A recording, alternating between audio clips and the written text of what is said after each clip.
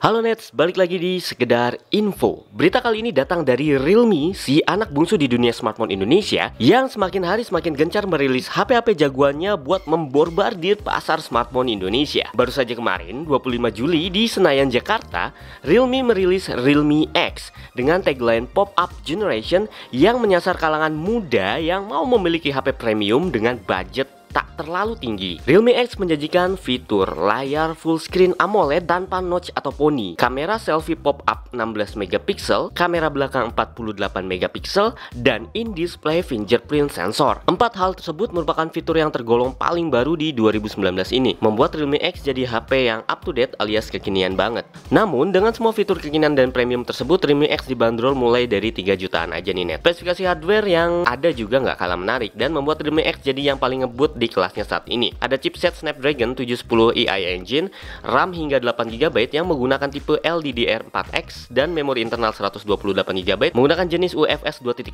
Ini menunjang performanya yang akan sangat lancar digunakan. Baterainya memang terbilang standar yakni 3765 mAh. Namun menariknya udah dukung flash charge VOOC 3.0 dengan daya 20 watt yang udah ada di paket penjualannya dan didukung juga dengan konektor USB Type-C. Fantastis bukan? Buat kelas 3 jutaan ini udah keren banget. Pada kesempatan launching kemarin, Felix Christian, Product Manager Realme Indonesia, juga mengenalkan edisi khusus Spider-Man Far From Home, di mana ini adalah Realme X varian 8128GB yang warna putih, namun dengan tambahan box eksklusif Spider-Man, casing Spider-Man yang unik, hingga tema Spider-Man di dalam Realme X-nya. Dengan semua keistimewaan tersebut, berikut harga Realme X yang menurut gue sangat menarik. Realme X 4128GB, harga normal Rp3.799.000 dan akan di flash sale tanggal 5 Agustus di Shopee dengan harga Rp3.499.000 9 saja. Sedangkan varian Realme X 8128GB harga normal Rp4.199.000 didiskon menjadi Rp3.990.000. Itu kalau kalian ikut pre-order di Shopee mulai tanggal 25 Juli sampai 31 Juli 2019 ditambah bonus berupa speaker JBL Go dan kuota Indosat. Dan yang paling mengejutkan adalah Realme X edisi khusus Spider-Man Far From Home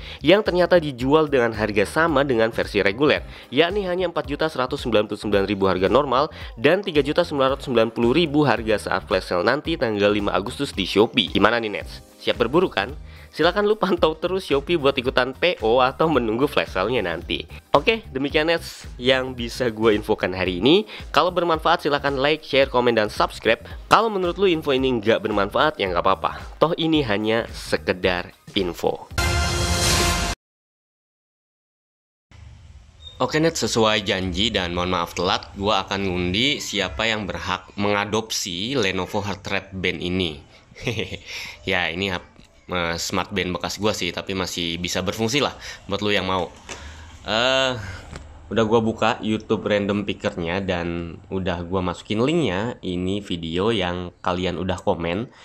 Buat kalian yang mau aja sila uh, yang udah komen di kolom komentar video tersebut. Terus coba sekarang kita undi aja randomly pick winner. Jeng jeng. Ya, ini ada Agus Wahyudi. Woi. Woi. Woi doang.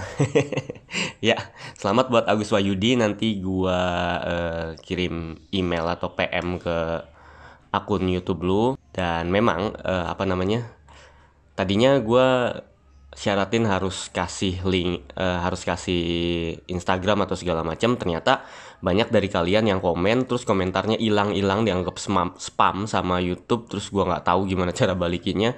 Pokoknya banyak banget yang hilang akhirnya gua kasih ketentuan udah pokoknya yang semua yang komen di kolom komentar video ini dapat dan selamat buat Agus Wahyudi lu dapat smart band Lenovo bekas Om Gadget. Oke dadah